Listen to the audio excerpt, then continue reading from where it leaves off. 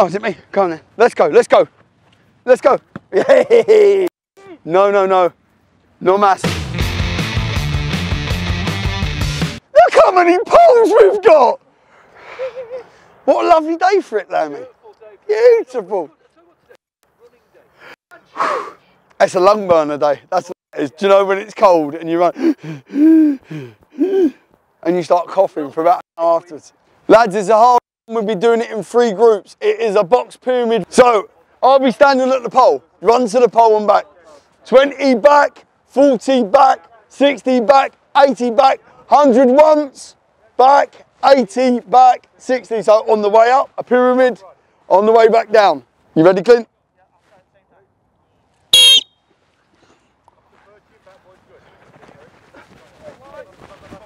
Done. 58, 59, that's one minute, well done. Up to the pole, go on Bryce. Bryce, you need to open up. Go on Eric. Go on, go on JJ, you can make it up. Go on Palms. Go on Harry, to the line.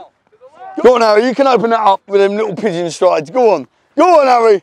Go on Harry. Go on Gooley. That sounds great to mark where our fitness is. The more we do it, the better our times will get. But what's more important than that is now your recovery in the games and playing football when you're fatigued and you've got to make decisions and you've got to move your feet when you're tired. It could be the last 10 minutes of the game when more mistakes are made than any because of fatigue.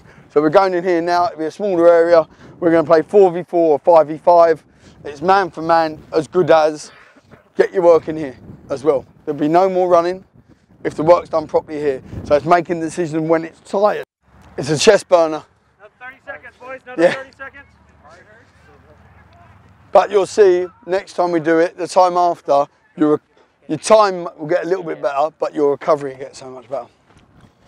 So grades, you can only play off your end. One touch on the outside, keep it alive. Keep it alive, come on, keep going.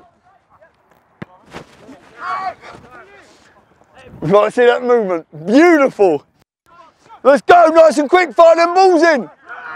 That's why you press him in that half. They've got nowhere to go. Who's that, Frank? What ball?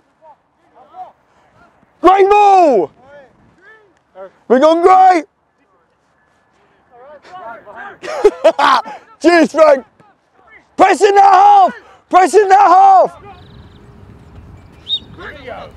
Go wide, go wide, go wide. Oh! Good defending, Eric! That's why you're in there! Go, go! There you go! Well done. You have something with. Uh, No! No, just a question. I, I, I, I like that question. yeah, I like it. You keep to that level of intensity in training, whatever you do, whether it's possession, whether it's attacking, whether it's defending, it'll get us a long way this season. And I'm telling you, I've seen the league, seen all the teams now. If we can keep with that intensity of pressing and defending, when I'm talking about pressing, we don't have to be high press. Wherever it is in the middle, if we go, go, go, go, with our quality, we get, we get goals, we get chances. But it has to be every day in training. It can't, you can't turn up one day and think, I don't fancy it today, and two or three of you don't fancy it, it kills the session. Everyone has to bring that every day, and we get better and better and better.